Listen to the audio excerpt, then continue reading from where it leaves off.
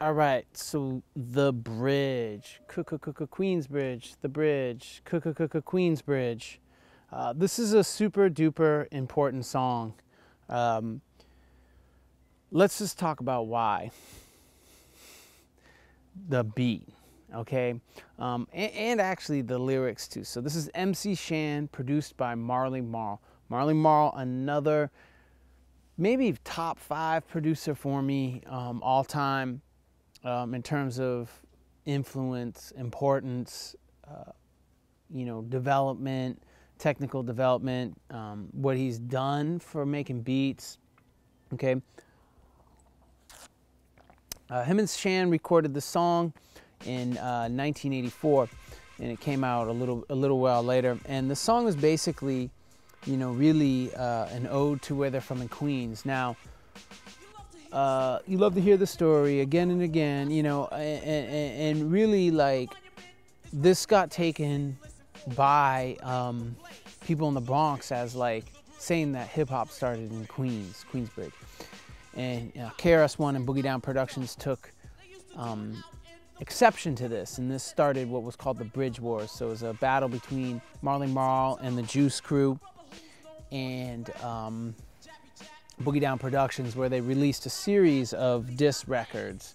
The Bridge is Over, um, the South, the South Bronx, Kill the Noise, etc. Um, Marley was one of the first to also realize the importance of, of, of, of beef. Um, so he was seminal in what was called the Roxanne Wars, um, as well. Same same thing, and how that could sell records and monetize and brand an artist. Damn, that sun is bright right now, poking through. Uh, anyways. This song is just crazy important because it's the first time we hear the drum, uh, drum break impeach the president by the Honey Drippers. This became a seminal, classic, super important drum sound in, in hip hop music. And Marley is so important because Marley Marl is the one who basically invented, let's say, pioneered the use of sampling drums. It happened, uh, he was a recording engineer. It happened by, by basically accident where he was sampling, um, you know, a riff, and he accidentally caught the snare, and he would hit hit the sample button, you know, because he was around some of the high the high technology at the time, and hit this the trigger button, and he heard the snare, and he's like, "Oh, that's really that's really cool," you know, and he employed that on this song as the bridge. If you watch the um, classic res- recipes where he talks about making the bridge, um, it's it's epic. So you can see actually how he made it, but he basically um, samples Impeach the President drum break and he chops it up, all the drum sounds, right? And then he re- and then he replays that actual drum break with the ghost notes and, and everything included in it. But he plays it at a slower tempo. Now this is before people were sampling drum breaks and then looping them over and over, you know, necessarily, which was also around the time. But it's so important because he, he figured out sampling drums, chopping drums into individual sounds, and then replaying those drums. In this in this case, uh, you know, a diff uh, a, the same drum break drum pattern. Uh, but like that was just so important, you know, chopping, sampling drums, chopping them up, and then replaying them you know, to make them make the drum, you know, break you want. Um, what he used is he sampled uh, the kick and snares to what's uh, uh, called a, a Korg SDD 2000. He used two of those, and then he triggered them from the uh, the 808. So with an 808, it's also um, is a MIDI machine, meaning you can hook it up to like a synthesizer or something like that, and you can you can play, you could use the uh, pads on, on it to trigger sounds from a synthesizer or from another, another um, you know, anything that has sounds on it. So, um, you know, this is a kind of became a common technique as we talk a little bit later um, with the SP1200 and um, the S950, some samplers and, and, and ways of doing this. But basically, he would just um, you know, more or less use uh, uh, the 808 as the master to trigger sounds he had sampled on on the um, on the Korgs. Okay, Um, and so this record's super important. You know, he he took a you know he reversed a horn sound you know that you hear in this, and then and then the, the drum sound. So this is seminal. As you hear the impeach the president drum breaks, it becomes just an essential drum sound, drum break sound. Um, he tells the story in the video where he gets actually into a little bit of beef with KRS One um, in Boogie Down Productions, and they stole his drum reel of drum sounds and then used them on some of their records, uh, which is interesting. Um, after this record, so up until this time, people using drum machines only. There's no sampling. They're replaying melodies on synths and stuff like that, using a lot more live instrumentation. Shit starts to change, right? Um, you know, basically, start people start sampling. Um, they first start sampling drums, um, and then they start sampling drums to loop them, not just to chop them, but to loop them and, and loop a drum break, um, and then layer loops of melodies over it. So you start to really see through all this, you know, that we're kind of now we start to see once people start sampling, we start to see how, you know, beat making is an extension of of DJ music, you know, which we'll learn about in the next unit. So people start chopping drums um, and programming them to make different patterns, um, which is kind of dope. Um, people start using slower stuff. So you know, the break beats that were popular in the 70s, as we know, those they were fast, they were b-boy, b-girl break beats. They had a lot of, uh, you know, Latin instruments and flavor to them. You know, for, for this time, people start looking for those just kind of raw drum sounds, uh, slower drum breaks, you know, etc.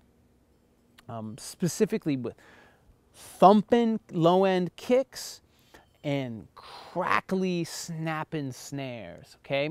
Um, you know if you listen to um, i know you got you know i know you got soul or you or, you know anything from paid in full uh, you know james brown.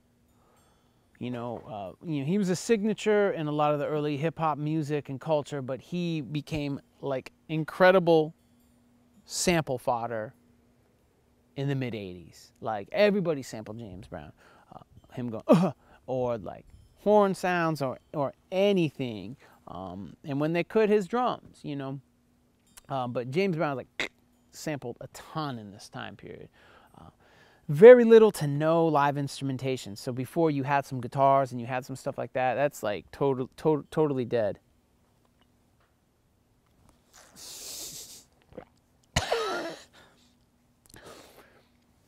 That's a sign of a real douche you show off your douche cup and then you spill coffee, kofevi, all over yourself. See? The same this this is I earned this. um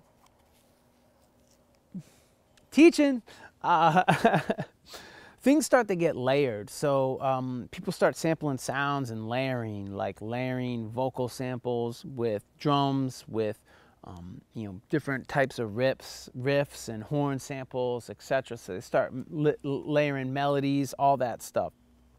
Um, everything's done on digital samplers, um, different types of samplers, and what really becomes like super, super, uber, uber signature um, are the ultimate uh, breaks and beats records.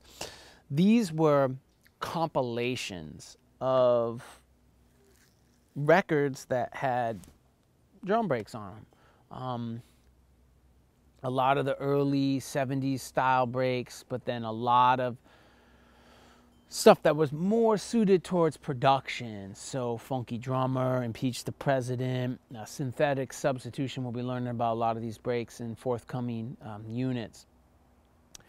But, you know, these records were literally like they'd have like Ultimate Breaks and Beats, you know, I don't know, there's maybe 10 or 15 volumes, uh, would have, you know, 10 or 12 songs on it with, um, with drum breaks on them, you know, and all sampler, like, like sampling artists would like go to these to get their drum sounds, you know, and so like, if you actually listen to some of the um, the breaks on these, the, the, the way that they recorded them, and um, you know, uh, from other records, like say there was a little scratch on a snare. Marley talks about this in, in, in making of the bridge, but there's a little scratch on your snare. You know, you could tell people who sampled the Impeach the President break from the Ultimate Breaks and Beats or UBB because everybody had that snare with that little crackle on it. You know what I'm saying? And that was cool. Like a lot of people will look down on that as like cheating using comps, and I'll talk about that later.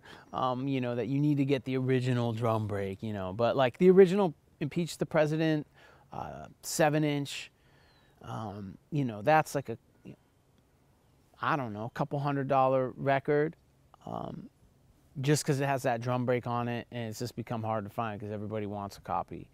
You know your boy got one. Uh, love that too. Um, but anyways, just boasting. I'm not showing it, so maybe I don't have it.